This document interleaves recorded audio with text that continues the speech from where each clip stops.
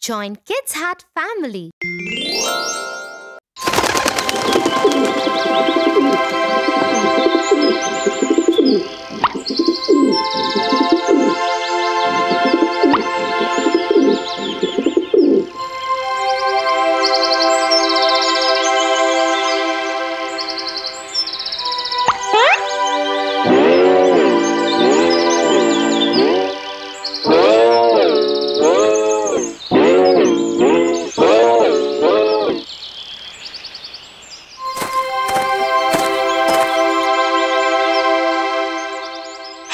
Tia, that monkey over there tried to imitate me.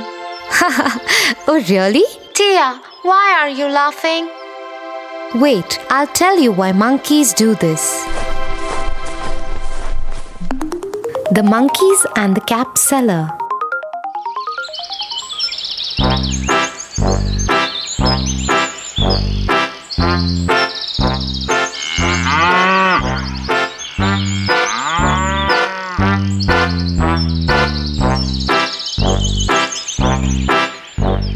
Once, a cap seller was going to sell his caps in a village market.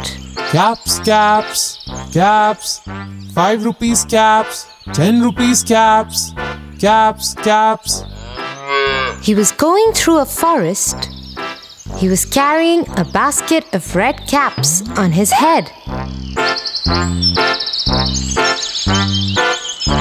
He got tired in the heat of the sun and thought of lying down under a tree for some time. He put his basket on the ground I am so tired. Let me take a small nap.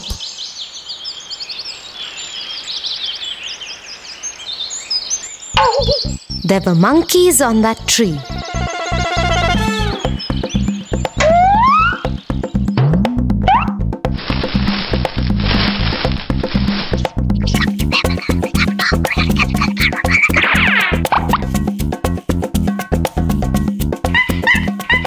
They came down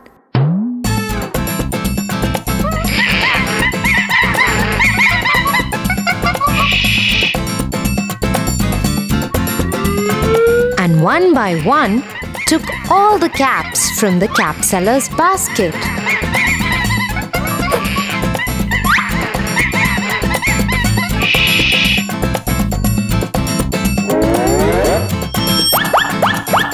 Then they climbed on the tree. When the cap seller woke up, he was shocked to see his basket empty. He searched for his caps everywhere. To his surprise, he saw the monkeys were wearing them. He found that the monkeys were imitating him.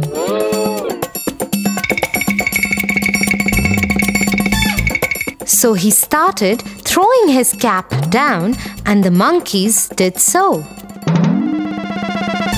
The cap seller collected all the caps, put them back in his basket, and went away happily.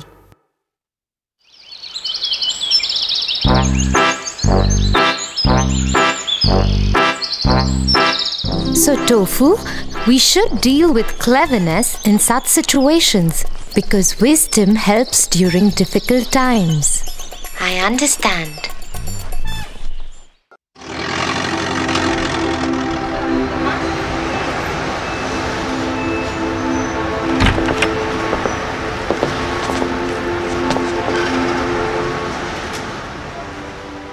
Look at that man, Tia.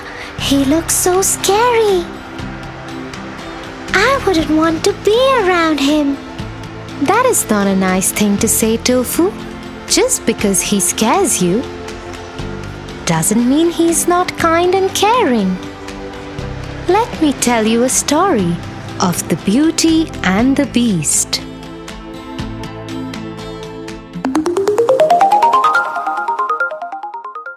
The Beauty and the Beast.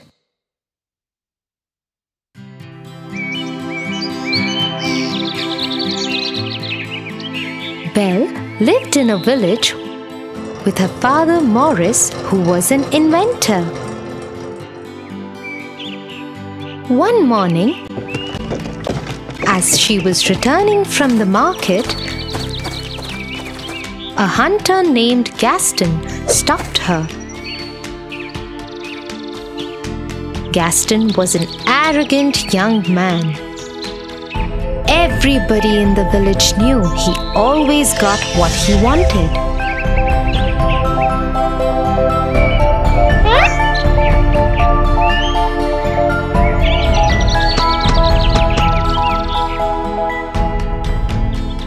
But no one ever dared stand up against him because his father was the village head. The only person who paid no attention to Gaston was Belle. But Gaston was obsessed with her and wanted to marry her. Belle, let me walk you home. Oh, Gaston. N- no, thank you. I can go home myself. I insist. I have to talk to your father about something important too. Belle continued walking, ignoring Gaston, who started walking with her.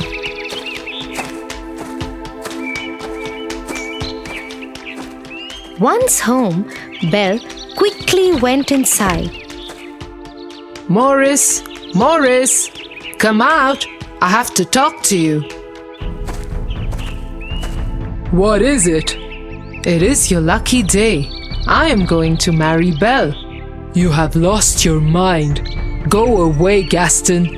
Belle is never going to marry you. Just then, there was a loud explosion in Morris's lab. And he took off towards it. Belle also ran towards her father's lab.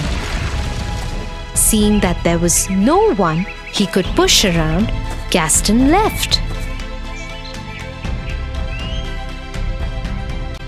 Papa, Papa, are you alright? I have done it, Belle. My experiment was successful. I am leaving for the fair in the nearby village immediately. You will see, my child, people are going to love this. And so Morris leapt on his horse Philip and rode off.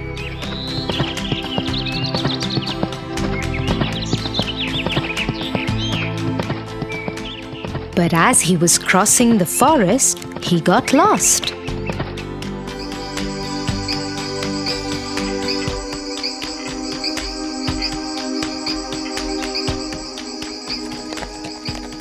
After a few hours, Philip and he landed in front of a huge, lonely castle. There was no one in sight, so Morris tied Philip to a pole at the entrance and went inside the castle. It was pitch dark inside. A few candles were lit in the corners. Hello? Is anyone here? I am lost. C- can you help me?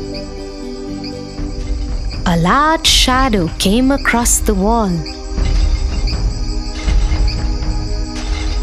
As it came into light, Morris saw that it was not a man, but a huge, angry beast with an ugly scar across his face.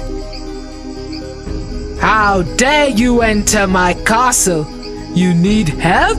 I will help you. I'm sorry. I, I will leave immediately. Morris started running back the way he had come. But the beast caught him and started dragging him. He took him down the staircase and locked him in the dungeon. Please, please let me go. Please let me go. You will stay here forever. This dungeon is your world now.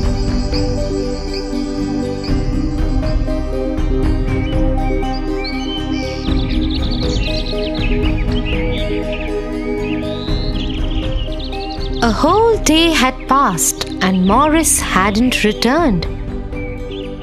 Belle got worried and decided to go to the nearby village to look for her father.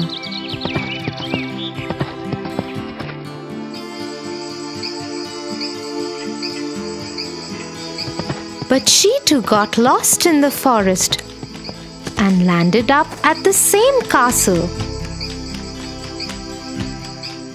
Philip was still there, tied to the pole. Belle decided to go inside, just in case her father was there. Hello? Papa? Anybody here? How dare you enter my castle? Get out right away before I lock you in the dungeon too. Suddenly, the beast moved out of the shadows and stood in front of Belle. She was terrified of him, but dared not run. Somewhere from far away, she could hear another voice. It was her father. Please, Please let me go. Let me go, please. Open this door. Let me go, please. Do you have my father? Can you please let him go? Hey, what are you saying?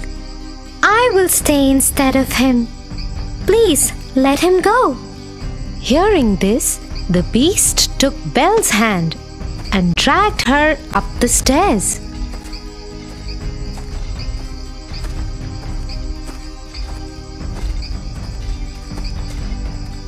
He led her into a huge room. So be it.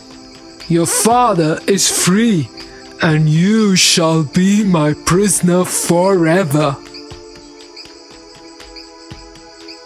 And so it was. No matter how much Morris protested, the beast threw Morris out of the castle and into the forest with Philip.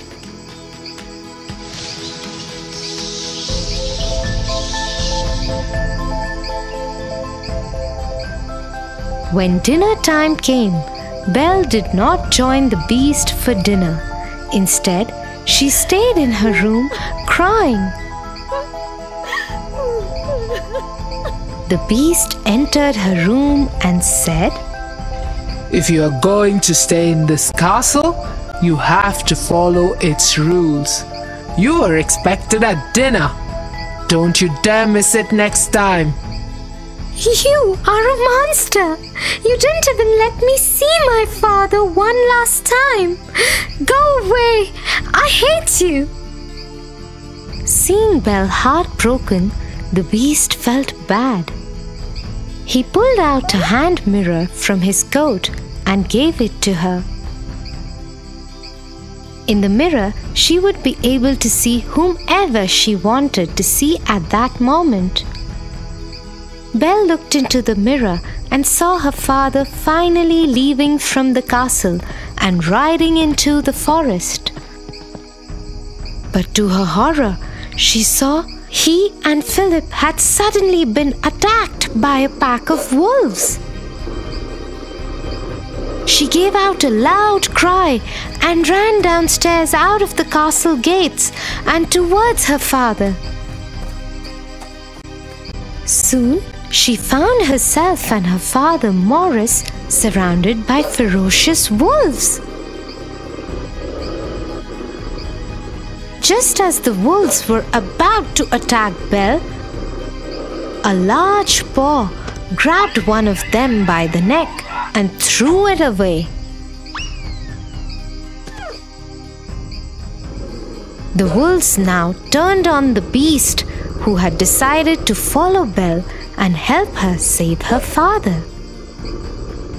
The beast scared them off, but not before they had bit into his arm and injured Morris too.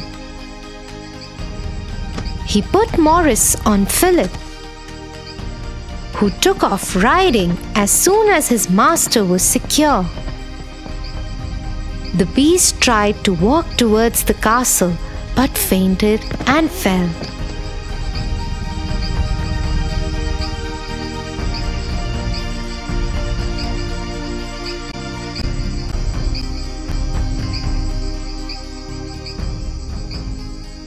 He woke up two days later to find Belle sitting by his bedside in his room. The wounds on the arm had been bandaged. You. you didn't go? You are awake. I hope you're feeling better. Thank you for saving our lives. Over the next few days, Belle nursed the beast back to health.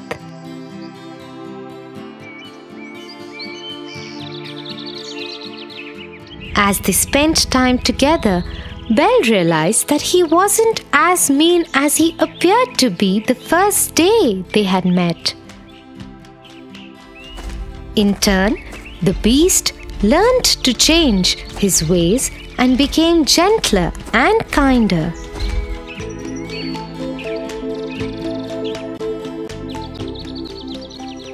Soon they became very good friends. One day, Belle asked the beast if she could see her father in the mirror. The beast agreed and gave her the mirror. In the mirror, Belle saw all the villagers storming her house. They thought that Morris had gone mad and wanted to send him to the doctor. Nobody believed him when he kept insisting that Belle had been kept as a prisoner by a beast.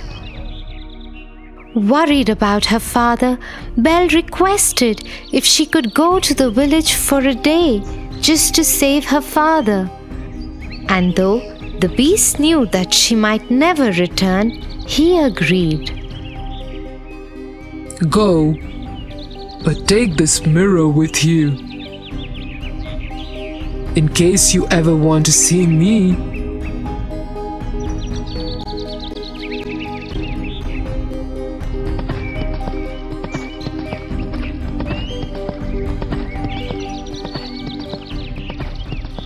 Once Belle reached her house, she stood between her father and the villagers and tried to explain the truth. But the angry mob, led by Gaston, who wanted revenge from Morris and Belle for turning his wedding proposal down, wouldn't listen. Gaston grabbed Belle's hand and tried to get her out of the way. As she struggled to free herself, the beast's mirror fell out of her pocket. In it was the beast, looking right at them all. Goodness! She's shown the beast the way to the village. We must go and kill him before he comes here. The angry mob started marching towards the castle with fire torches and swords. They left behind Morris and Belle locked up in their house. Soon they stormed the castle gates. Gaston went upstairs and challenged the beast to a fight. But the beast had had a change of heart. He did not wish to fight. So he came out of the balcony unarmed and tried to talk to the villagers.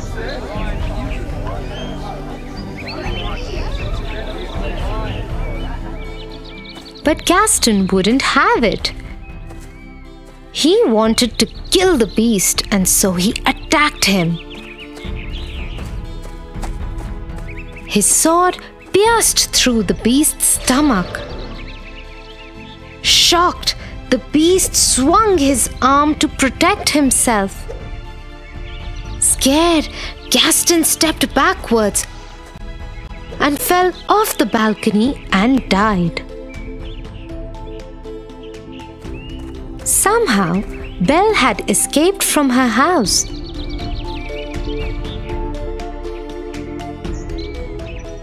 and reached the balcony just as the beast fell on the floor. I love you, Belle. I love you too. Please don't go. Suddenly, the castle lit up with thousands of candles as Belle still lay crying by the beast. He turned into a handsome young prince. Belle, it's me. You freed me from the witch's spell. To break the spell, I had to love and win the love of another. You loved me even though I was a beast. You saved me, Belle. You saved me. It really is you? As they hugged each other, they saw the rest of the castle and the forest bloom with beautiful trees and flowers.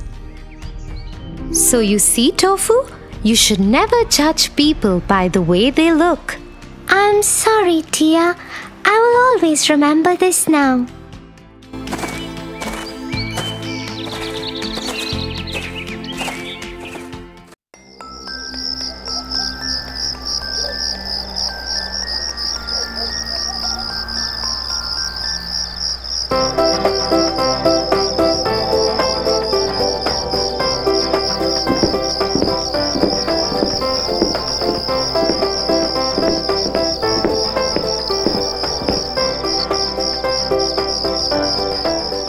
Will you help me to do my homework, Tia? Tofu, it's dinner time and you haven't completed your homework yet? I hope you know that your teacher will be really angry. I will do it after this cartoon, Tia. But please help me so that I can finish it fast. You have been watching TV all day. You should get up and do your homework first. My hand has been hurting since morning. I'm giving it some rest. Also, dear sister, will you please get my bag and pencil box from the room? Excuses and more excuses. He should know his priorities right. Hmm.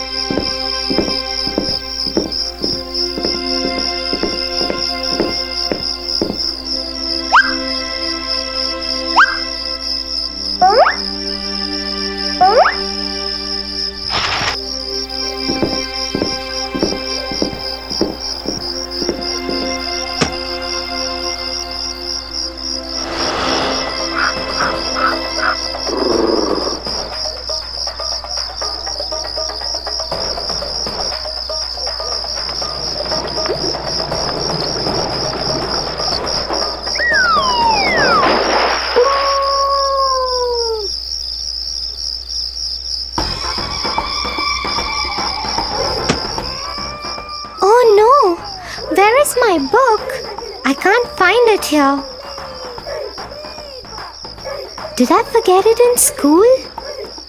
What will I tell my teacher in school? You should be more responsible, Tofu. You are a big boy now. Anyway, complete the rest of your homework at least now and be more careful next time onwards.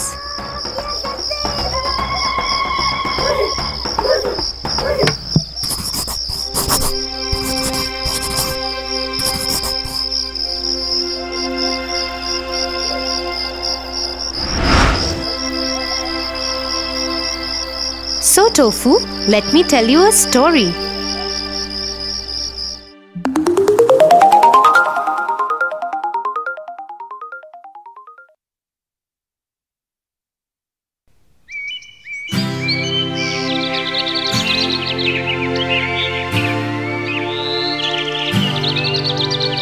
In a land far away lived a hard-working and kind trader.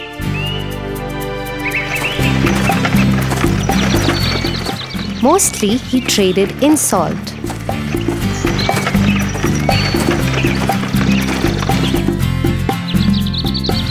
He also had a horse that was very lazy and always avoided work. The trader used him to carry sacks of salt from one town to the other.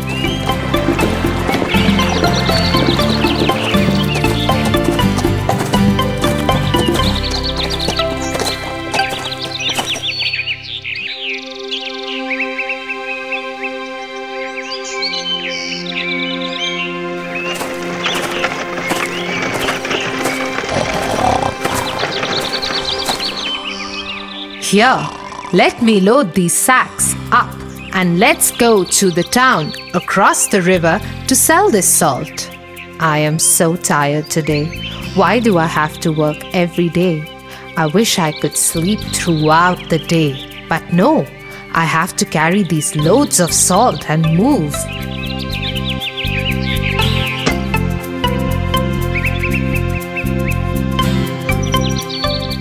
Come on, horse, start walking. Cross that bridge.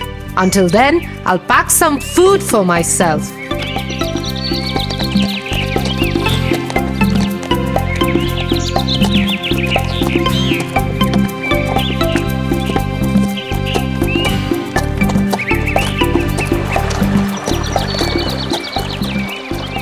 The horse was crossing the river. Suddenly, he slipped and fell into the water. As he was carrying sacks of salt on his back, the salt got wet and dissolved in the water.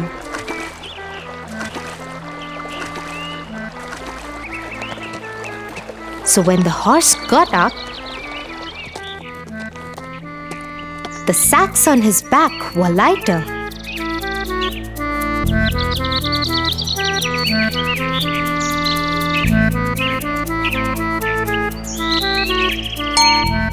The horse thought to himself, Wow, this seems to be a good idea. Every time I dip in the river, the salt would dissolve and my burden could be less. I must try doing this more often. I hope Master is not watching.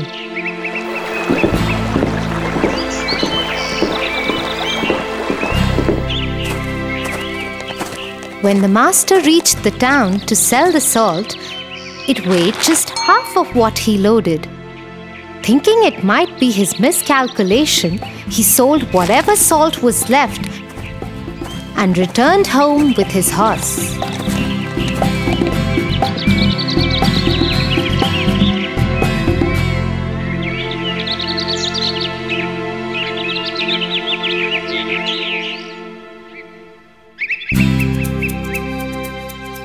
The next morning, he again loaded his horse with the sacks of salt and started to pack his food. The horse yet again started walking before him and made it to the bridge.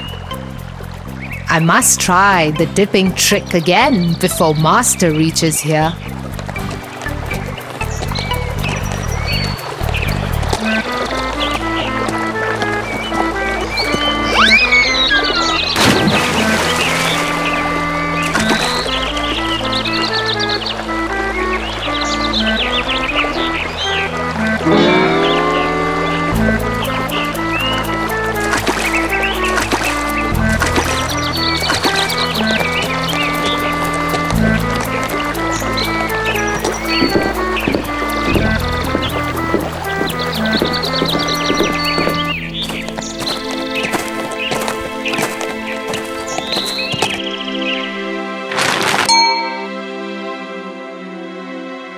Trader got really confused.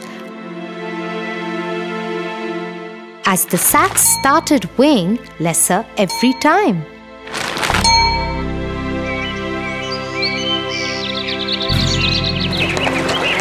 The horse purposely started slipping into the water every day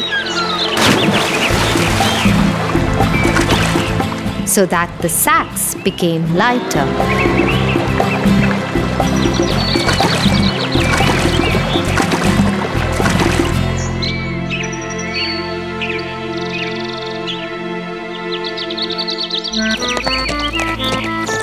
One day, the trader followed the horse.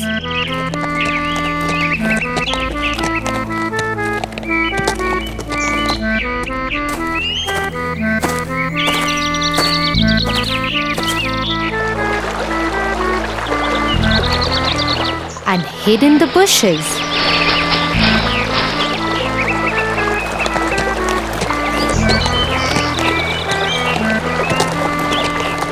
To his surprise, he noticed the horse's new trick.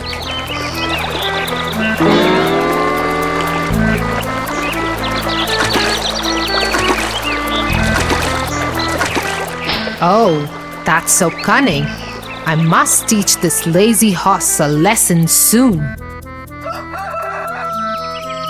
So the following day, instead of salt, the trader filled the sacks with cotton and tied him to the horse's back.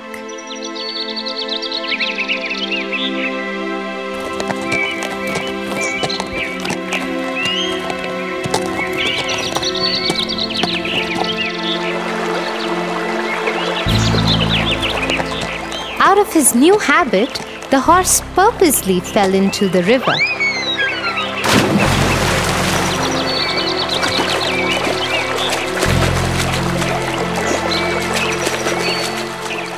Oh no, no! What is happening today? What is going wrong? How are these sacks getting heavier? Oh, my back hurts! What? This time, as the sacks were filled with cotton, it soaked water and became heavier. The horse dipped again and again in water, thinking to drain the salt off somehow, but all went in vain. He somehow managed to get up and cross the bridge.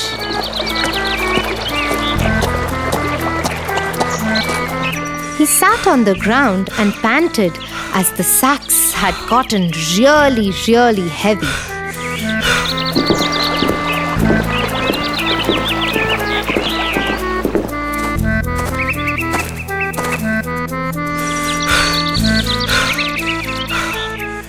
The trader laughed at him and said, Horse, I am your master. This is your work. I work very hard and worship my work. I don't make excuses or find tricks to fool others and avoid work. I must teach you to never repeat this and avoid your work. The horse learned his lesson and never tried to avoid his work again.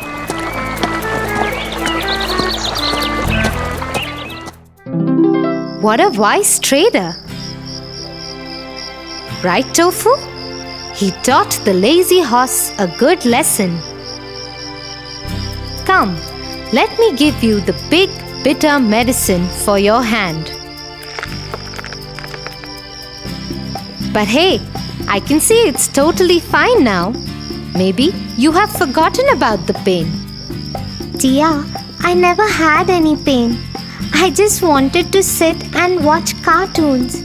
I was the lazy horse today. I am sorry, Tia. I'm really worried about my teacher scolding me tomorrow.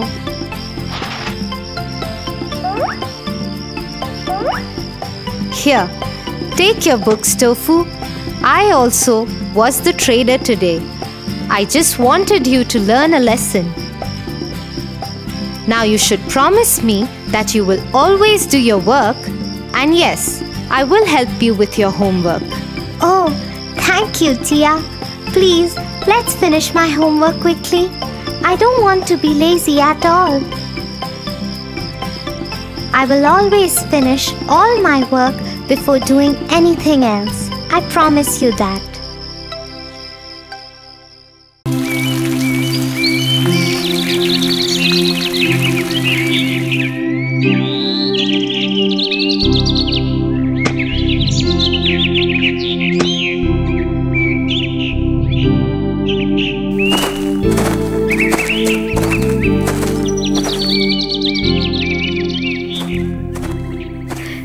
Tofu, Oh, hey, Tia.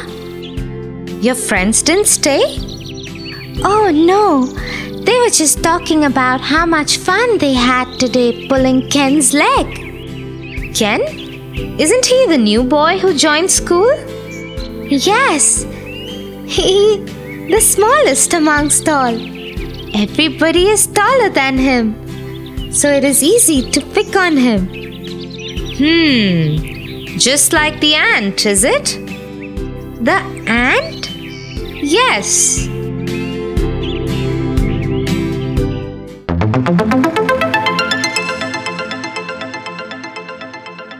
The Elephant and the Ant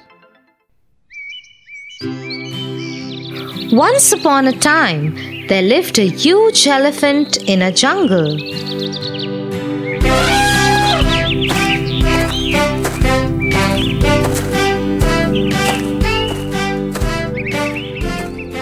Because he was so much bigger than all the other animals, he always troubled them.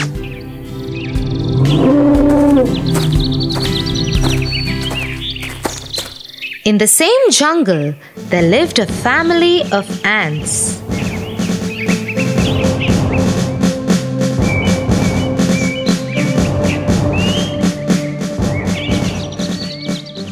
They were a hard working family who always kept to themselves.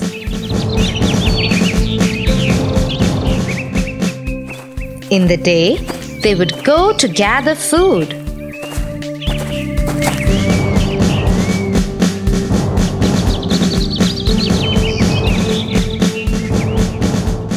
One day, as they were going, the big mean elephant threw water on them.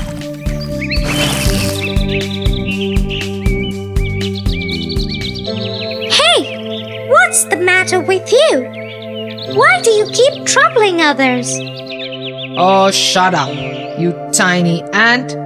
One more word out of you, and I will walk all over you and kill you. The little ant had no choice. It kept quiet and went on its way.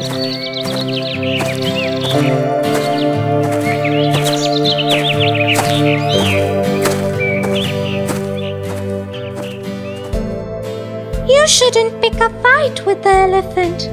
He is very ill tempered and very, very strong. He could crush you. Hmm, something needs to be done about it.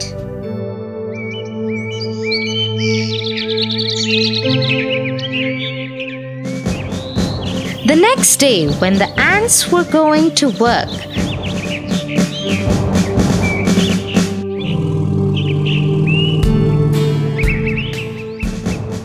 the tiny ant decided to teach the elephant a lesson. She quietly climbed onto the elephant and made its way to the elephant's trunk and entered it. Once inside, she started biting the elephant. Oh, that hurts.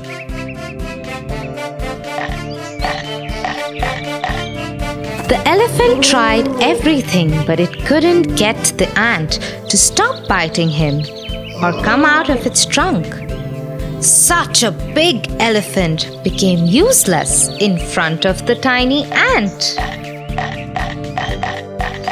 Please stop. Ah! Stop it now. Well, I hope now you know how others feel when you hurt them. Uh, yes, I do.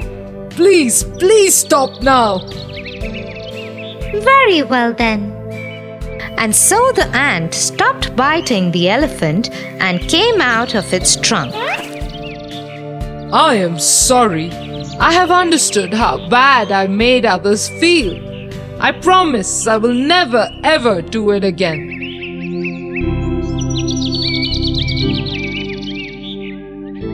Oh. Oh, what, Tofu? I understand what we were doing wrong. You do? Yes, we shouldn't make fun of Ken just because he's smaller than us all.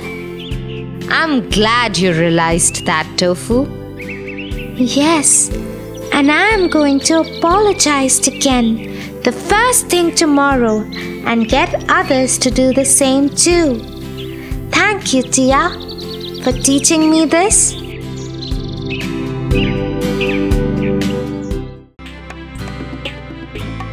For your favorite rhymes, stories, and more, join Kids Hut family. Subscribe here.